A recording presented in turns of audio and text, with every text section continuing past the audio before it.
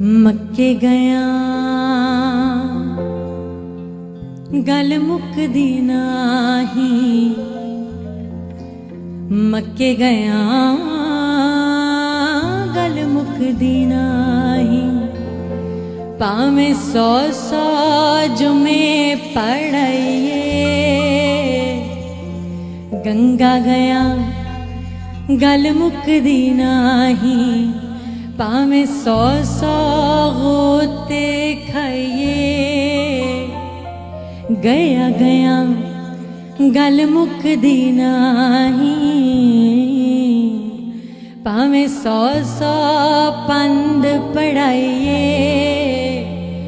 ਬੁੱਲੇ ਸ਼ਾ ਗੱਲ ਤਾਂ ਮੁੱਕਦੀ, ਜਦੋਂ ਮੈਨੂੰ ਦਿਲੋਂ ਮੁਕਾਈਏ।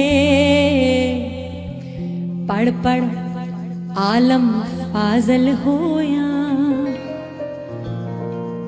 ਕਦੀ ਆਪਣੇ ਆਪ ਨੂੰ ਪੜਿਆ ਹੀ ਨਹੀਂ। ਜਾ ਜਾ, ਵੜਨਾ ਮੰਦਰ ਮਸੀਤੀ।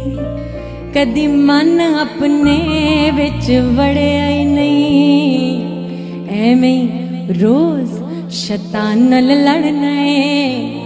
ਕਦੀ ਨਫਸ ਆਪਣੇ ਨਾਲ ਲੜਿਆ ਹੀ ਨਹੀਂ। ਬੁੱਲੇ ਸ਼ਾ ਅਸਮਾਨੀ ਉੱਡਦੀਆਂ ਫੜਨਾ ਜਿਹੜਾ ਘਰ ਬੈਠਾ ਉਹਨੂੰ ਫੜਿਆ ਹੀ ਨਹੀਂ।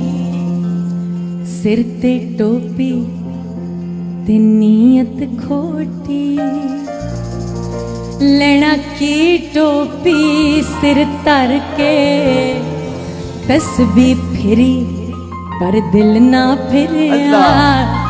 ਲੈਣਾ ਕੀ ਤਸਬੀਹ ਹੱਥ ਫੜ ਕੇ? ਚਿੱਲੇ ਕੀਤੇ ਪਰ ਰੱਬ ਨਾ ਮਿਲਿਆ।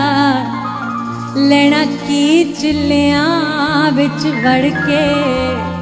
ਬੁੱਲਿਆ ਜਾਗ ਬਿਨਾ ਦੁੱਧ ਨਹੀਂ ਜੰਮਦਾ ਭਾਵੇਂ ਲਾਲ ਹੋਵੇ ਕੜ ਕੜ ਕੇ।